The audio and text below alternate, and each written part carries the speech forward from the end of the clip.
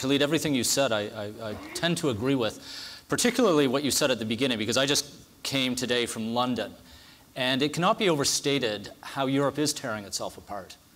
Uh, this is a visceral, existential, uh, raging argument going on right across Europe. I, I showed you uh, yesterday's Daily Mail had a two-page spread of the fence, and the headline, "The Hordes." The hordes coming through the, the, the, the fence. The uh, Calais camp was dismantled. Uh, part of it was dismantled yesterday. There was an incident in Germany of, uh, or a reported incident of two girls assaulted uh, in a swimming pool by Afghans. This is all just fueling this, uh, this rage.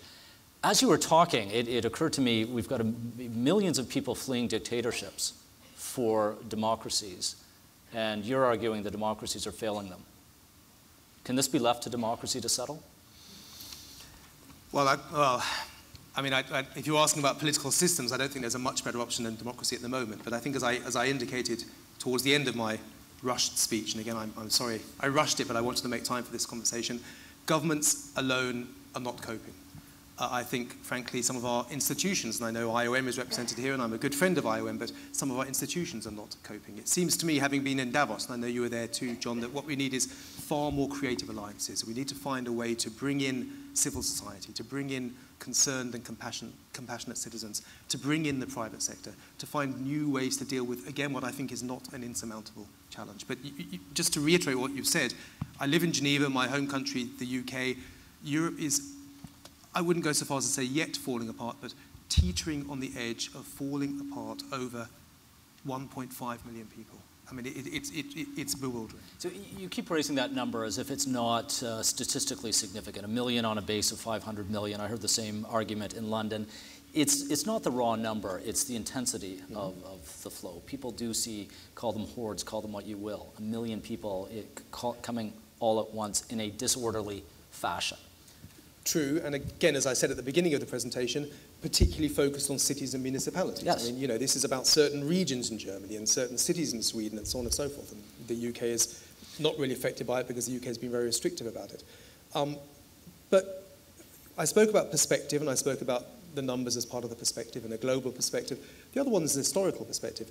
Europe has been here in the recent past and dealt with it quite well. In the mid 1990s, when I started working in this area, over a million people fled the former Yugoslavia to the EU 15, as they were, and on the whole, with differences and with challenges, and of course, on the whole, the EU 15 absorbed that million or so people fairly well. They came in an uncontrolled manner, they were Muslim, and yet we coped. And here we are, the EU 28 apparently not willing. Right. It's not about ability, it's not about capacity, it's about political will. So what's, what's the difference now? It can't just be political will. Well, I mean, or I think recession matters. I think that, uh, you know, Europe is still undergoing the, the, the hangover of recession. We, we know from the research is fairly clear. During times of recession, we don't like migrants. When we're wealthy, we don't mind migrants so much because they can drive our kids to school and clean our houses and so on mm. and so mm. forth. There's always unfortunate correlation between the two.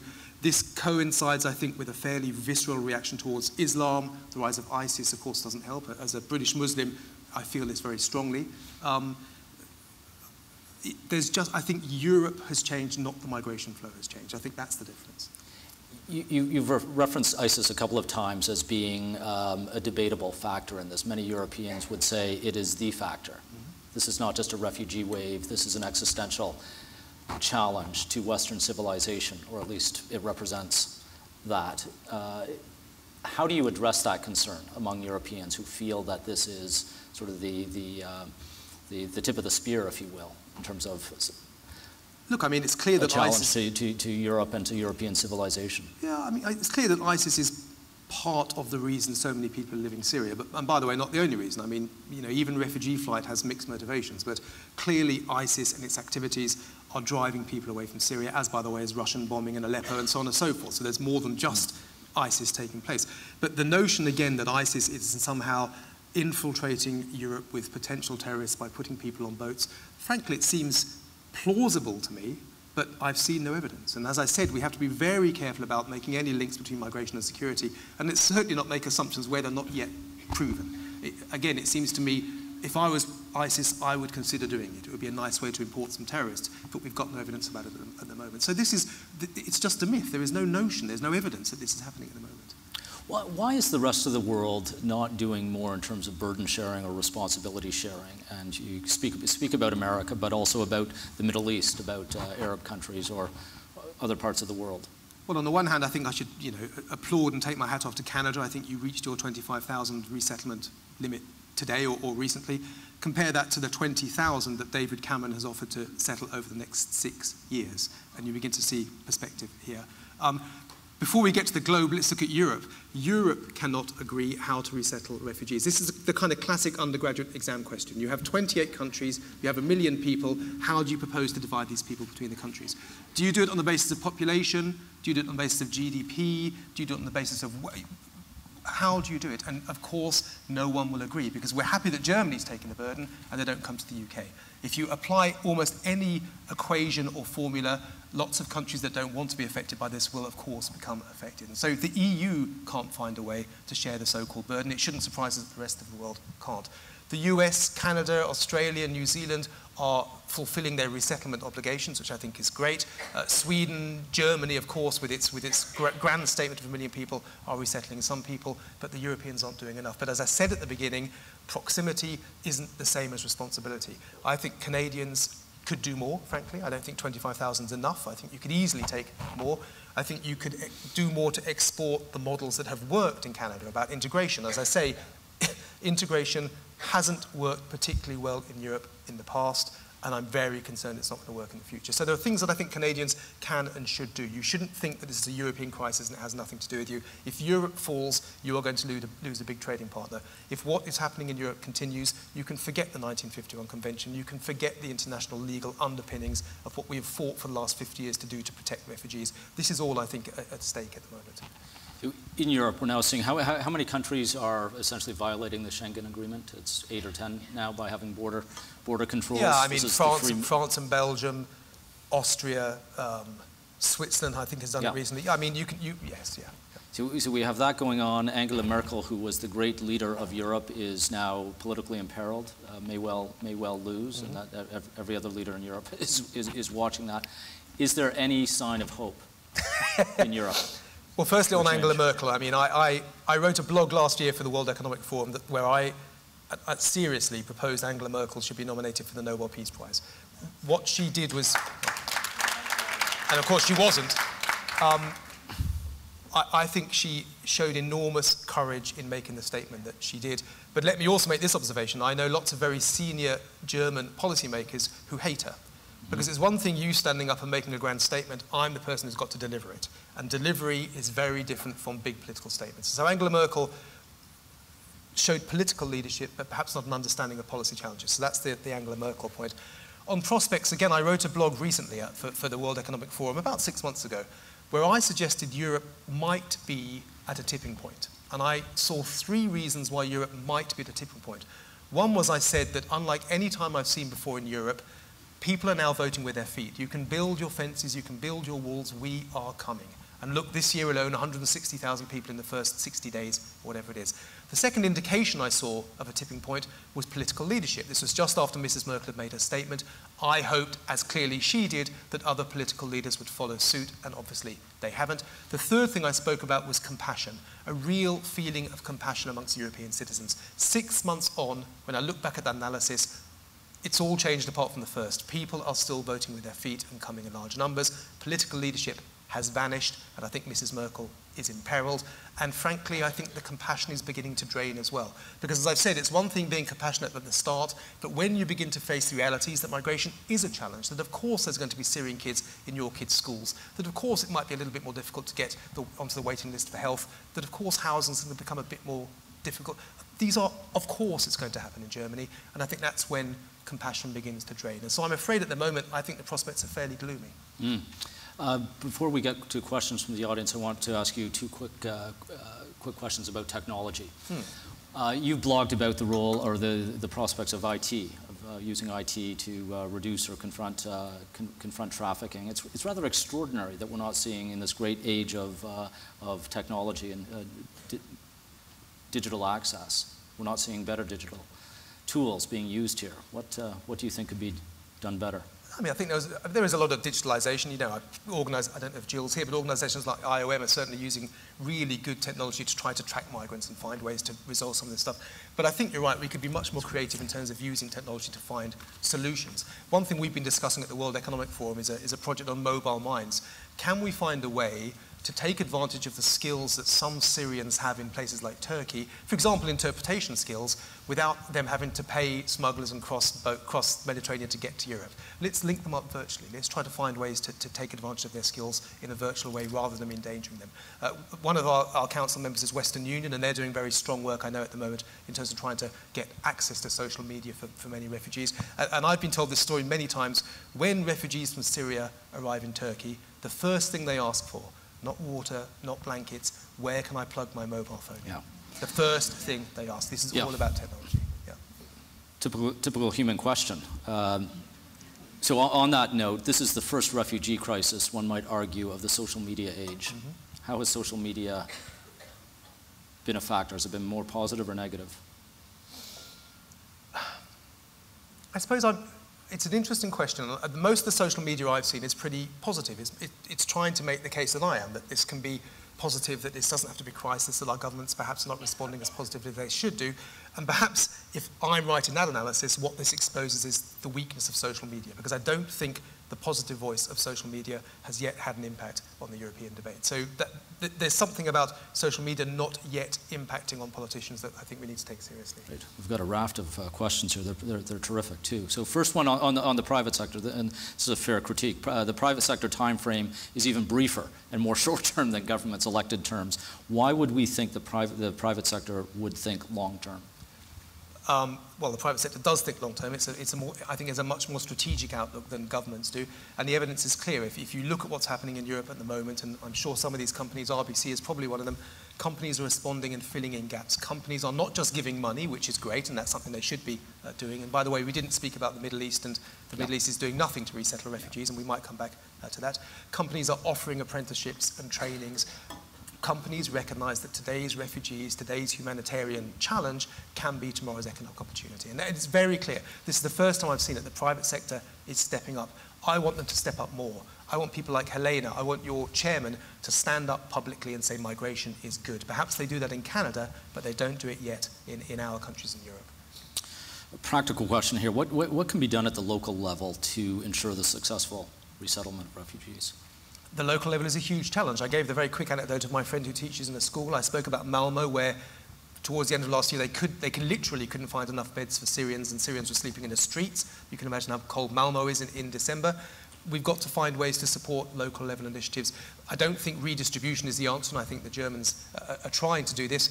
On the whole, history shows that if you redistribute refugee populations around your country, they'll simply get on a bus and come back to the capital because that's where the jobs are, that's where their friends are, that's where their social networks are. So this really is about empowering the local level. It's something we discussed here today and last two years ago in Berlin.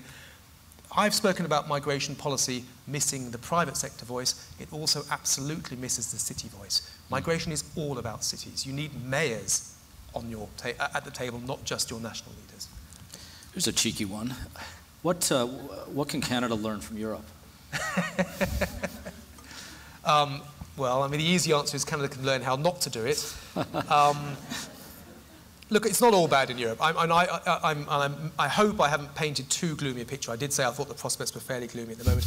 Lots of Europeans are reacting immensely positively. Now, I don't know Canada well enough. I know the Canadians are, on the whole, a fairly compassionate bunch. But, you know, you saw the stuff last year. People providing tents and bedrooms and places for people to sleep, people providing food, people signing up on social media to try to give blankets and food and so on and so, so forth to refugees, people driving across borders and moving people out of harm's way. The Europeans, I think, are responding positively. It's just that their governments are letting them down. So I think the Canadians can at least see some compassion amongst uh, Europeans.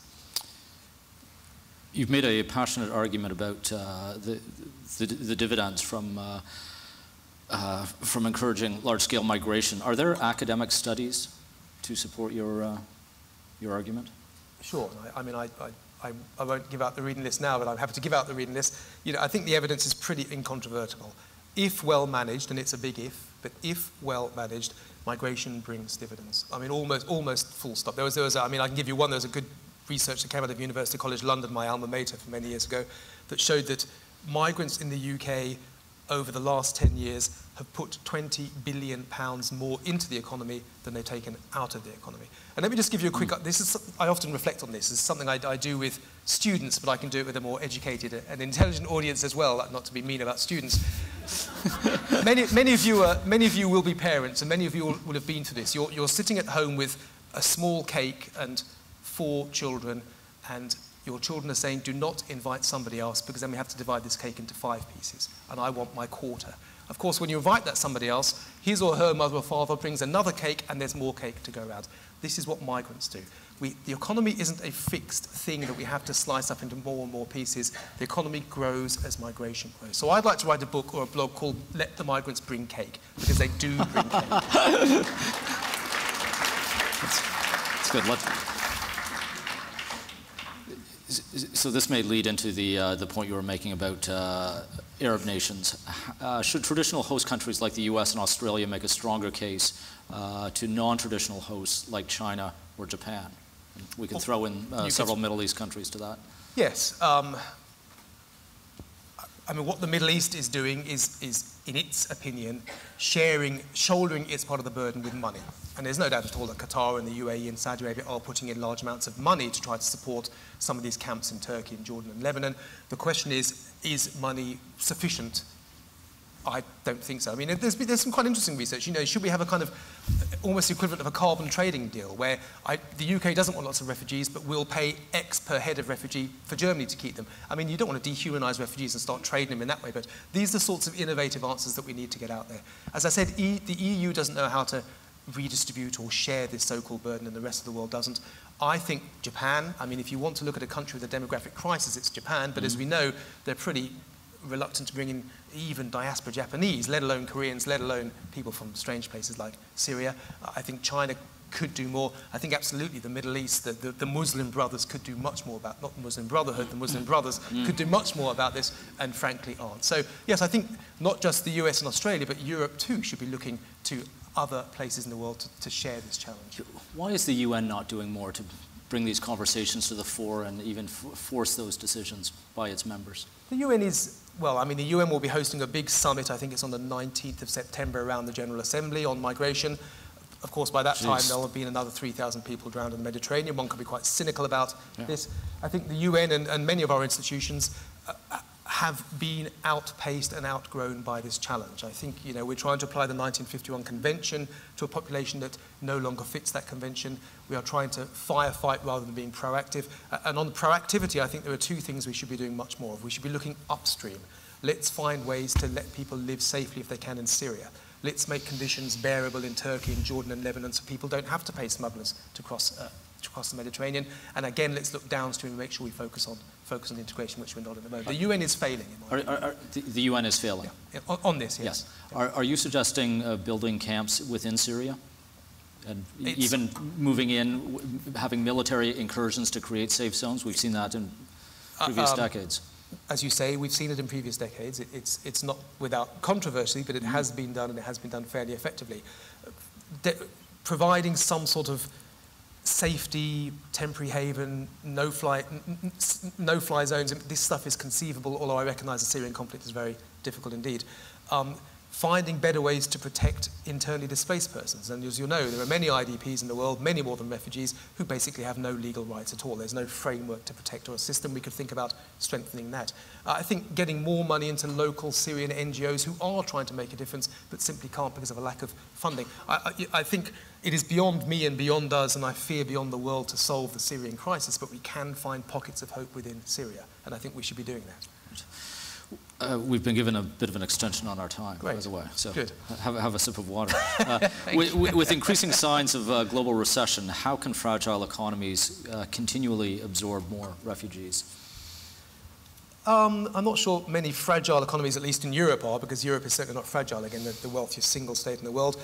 The fragile economies you should be concerned about are, the, again, Pakistan, Turkey, Kenya. Mm. This is where the heat is. This is where the challenge is. And again and again and again, these countries have shown themselves to be hospitable. Now, you can criticize Pakistan and Iran, and you should. These are pretty dodgy countries at times. But between them, they have had 5 million Afghan refugees mm. for the last 30 years.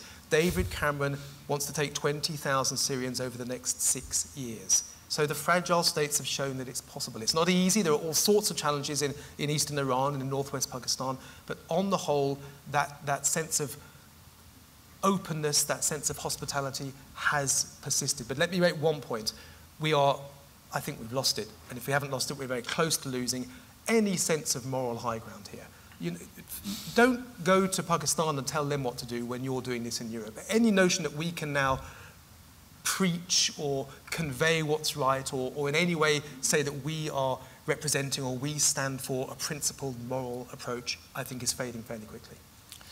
Speaking of morals, how long can we continue to focus uh, so intensively on one refugee crisis and ignore so many others? That, that's a very good question. As I, as I said very quickly, and I, I whizzed mm. through it, this isn't just about Syrians. You know, the, the top number of asylum seekers in Europe are course Syrians. We also have many Afghans, Eritreans, a large number, Kosovo, Albania, most of them, frankly, not refugees, but using the asylum system, which is another uh, question altogether. Uh, the numbers, I think, will continue to increase. We are wrong to focus just on Syrians. I think the Syrians are capturing our imagination, as they should. This is an incredible conflict, I think a generational conflict, once in a generation, creating, and it, you know, one in, one in three, one in three Syrians has left their home. One in three Syrians has left their home either internally or internationally. This is the destruction of a country. And forget rebuilding the country if you don't get them back. But yes, let's not take our eye off the other refugee populations. And John, you were there with me uh, as well in Davos. Davos was wonderful. The World Economic Forum put this stuff on the agenda, which they haven't done before. But in Davos, migration was synonymous with Syrian refugees. There is a much bigger story out there about migration 240 million people, talents, human rights abuses. There's much more going on. Don't forget that stuff as well. Isn't this also about something much bigger, which is the remaking of the Middle East? perhaps even the dismantling of the Middle East as uh, we have known it. Syria is, is uh, eroding or fading as a, as, as, as a nation state. Some wonder if Saudi Arabia is, is next, and how many millions more will, will, uh, will move to Europe. I mean, Europe should be concerned about this. And if you add instability, not but, just... And that's part of the European fear, is that, uh, you know, there's no end to this, so let's build the fence, the wall, whatever. The fence won't work. There's no way the to flotilla. end it. The fences simply won't work.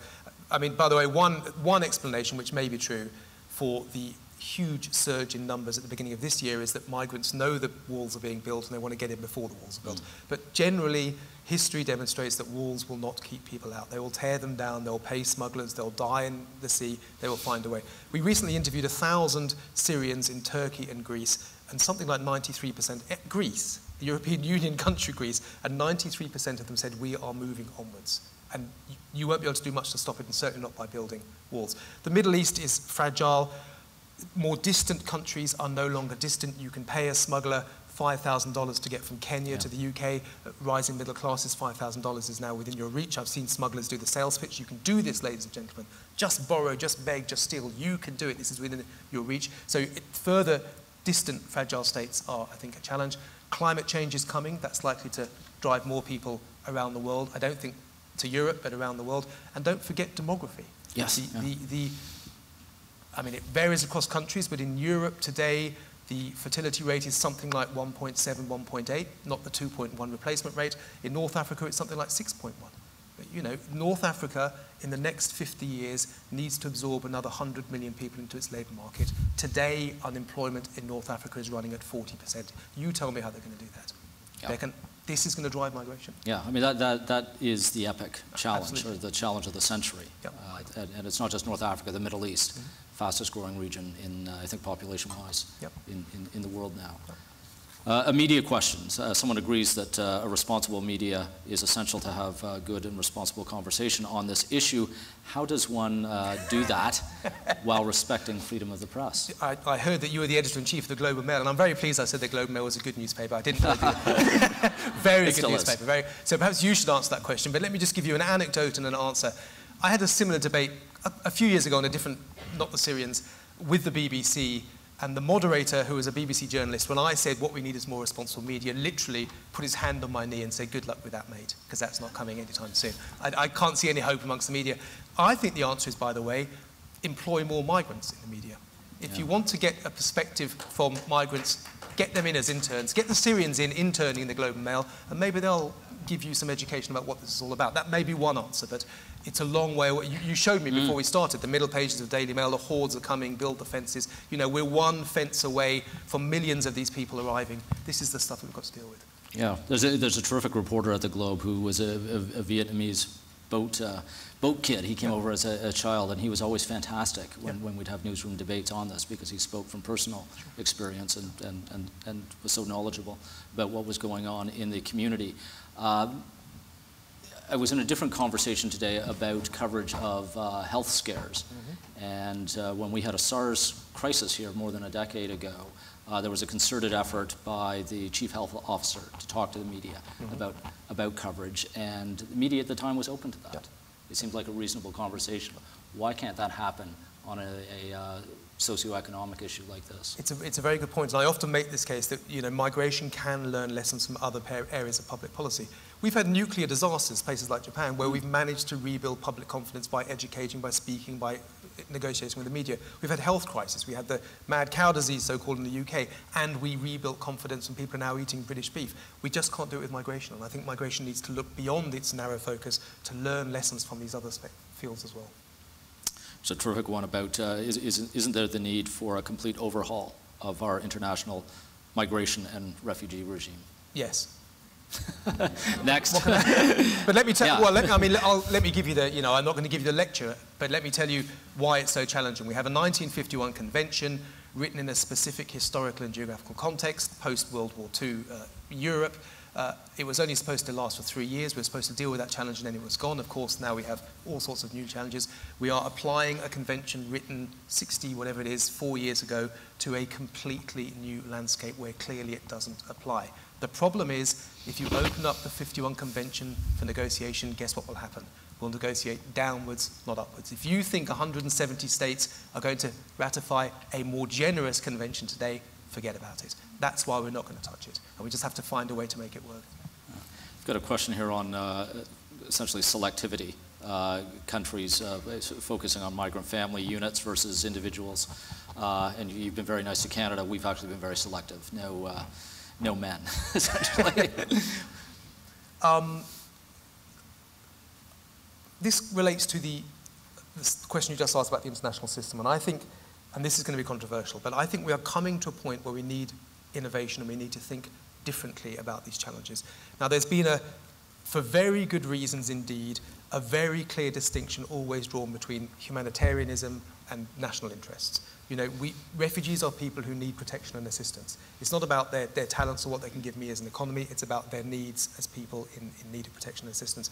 I think we're going to have to start discussing where that line moves. I think we're going to have to start discussing whether we can reconcile national interests with bringing in refugees. I think some of the resettlement countries are doing that. I think it's a holy cow that's going to have to be put down and slaughtered. We have to have these discussions. We have to think about whether all refugees need protection. We have to think about whether refugee status, which basically is permanent once you get to Canada and Europe, should be permanent, or whether we have the right to return refugees once they're countries. These are really big, really emotional, really difficult questions. But what is clear is we are running out of solutions for refugees. We're not integrating them locally, they're not going home, and they're certainly not being resettled in any significant numbers at the moment. But is selectivity okay if it allows nations to, or nation states to uh, accept large numbers? I think so, yeah. So that's the price that Canada had to pay, yeah. essentially, to get to the 25,000. We had to be very, very uh, selective. Yeah, I mean, it's, it's a, you know, policy is all about trade-offs, and I think it's a trade-off that has to be made. I'm not, I'm not a purist. I, I suspect if a colleague from UNHCR was here, they'd argue very differently, but I think you just have to recognize the, the trade-offs. And I'd rather 25,000 people all be selected than none or than 5,000. And certainly better than 20,000 in six years. Yeah. How, how, how, do you feel about family reunification? Uh, probably in, in, in, favor of it, but how, how do you see that being managed in the, uh, in the years ahead once and if things settle down? Well, of course, this is the great fear, isn't it? That you know, you're not importing one Syrian, you're importing six Syrians, because he will have a wife and five yeah. kids who will then get the right wife and four kids, six, who will have the right to come and join them. Family, family reunification has to continue. It's a basic human right. It's part of the 48 Declaration on Human Rights, but it's another one of those holy cows we're just going to have to start looking at. It. If, if the only way to sell to name your government is that we're going to bring people in in large numbers and for a certain period of time, they can't be joined by their family. These are difficult issues, and I think we have to have the discussion. Just as an aside, and interesting, I just got a today a submission for the Journal of Refugee Studies that I, that I edit, and I don't know if we'll take, take it forward, but a really interesting article about people from Bhutan being resettled to the US. And in Bhutan, they practice polygamy. And so this particular person had four wives and God knows how many children, and the US has said you've got to choose one. Family reunification Jeez. does not extend to your polygamous. So this is a great clash of kind of Western norms with, with other cultures, and how you resolve that sort of stuff is very interesting. You know, Donald Trump could turn that into a game show. he could, absolutely. It's, uh, sorry, that shouldn't be recorded. That, uh, that'll be taken seriously in some places. you, have kind of touched on this, but it's, it, this is asked, asked, so directly, it's worth, uh, it's, it's, it's, worth uh, putting it to you. Is there a more radical solution to the migrant crisis than, uh, that you would want to see tested?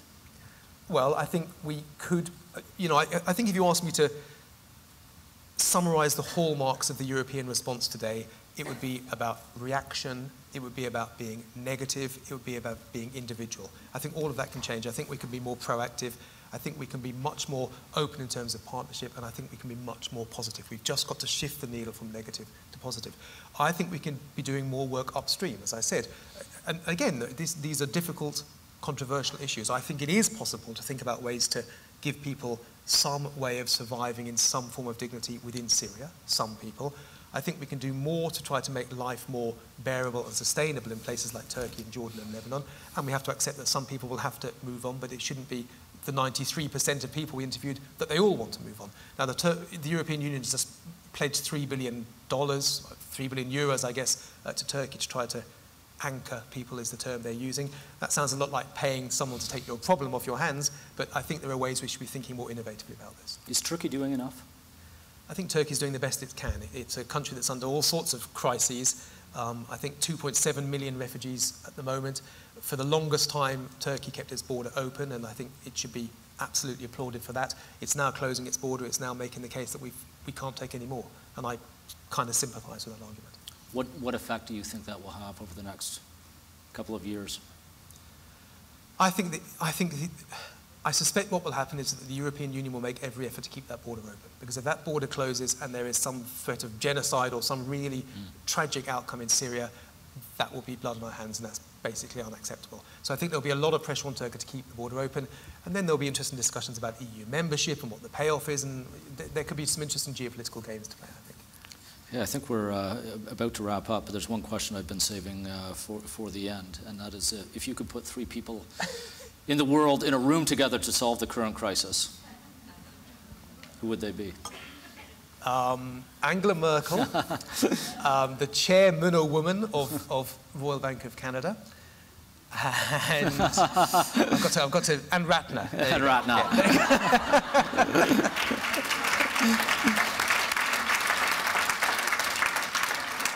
Well, that's terrific. It's been a, uh, a, a delight and uh, very enriching, enriching to, listen to you, and I'm sure lots more, lots more questions. Thank you.